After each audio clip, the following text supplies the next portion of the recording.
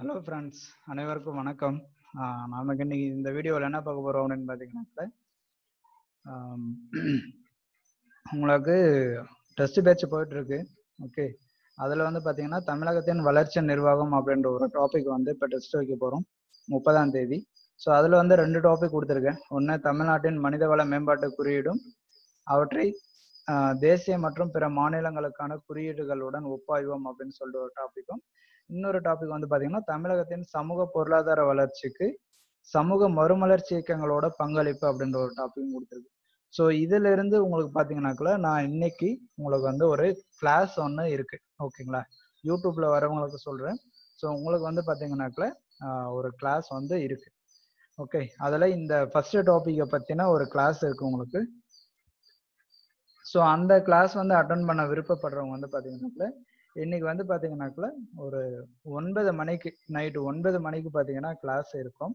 So அதில் வந்து நீங்கள் அட்டன் பண்ணிக்கலாம். அட்டன் பண்ணும்போது நீங்கள் ஒரு நோட்டும் பென்னும் எடுத்துட்டு வந்துருங்க. ஓகேங்களா ஸோ அதை எடுத்துட்டு நீங்கள் உட்காருங்க. ஏன்னா சும்மா வந்து நீங்கள் அதை வந்து கேட்டுட்டு போனீங்கன்னா உங்களுக்கு வந்து இது அது இருக்காது.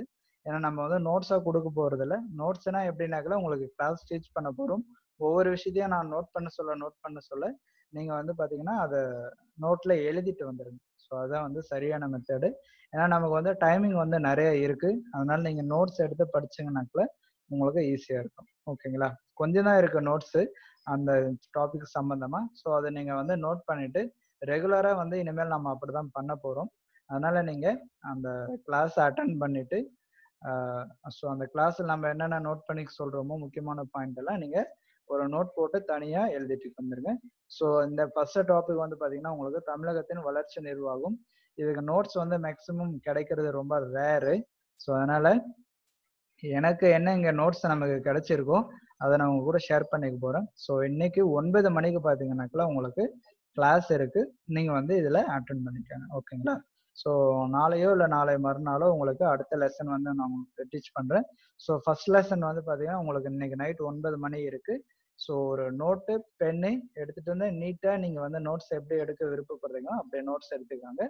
ஓகேங்களா ஓகே ஃப்ரெண்ட்ஸ் ஸோ நீங்கள் அதே மாதிரி இந்த டெஸ்ட் பேட்சில் ஜாயின் பண்ணணும்னு விருப்பப்பட்டீங்கன்னா எனக்கு இந்த நம்பருக்கு வந்து காண்டாக்ட் பண்ணுங்க. ஏன்னா நான் வைக்கிற டெஸ்ட் பேட்ச் வந்து பார்த்தீங்கன்னாக்கா இப்போ நான் கொடுத்துருக்கிற இந்த டாப்பிக்கில் உங்களுக்கு லெசன் டீச் பண்ணுறேன் இல்லைங்களா?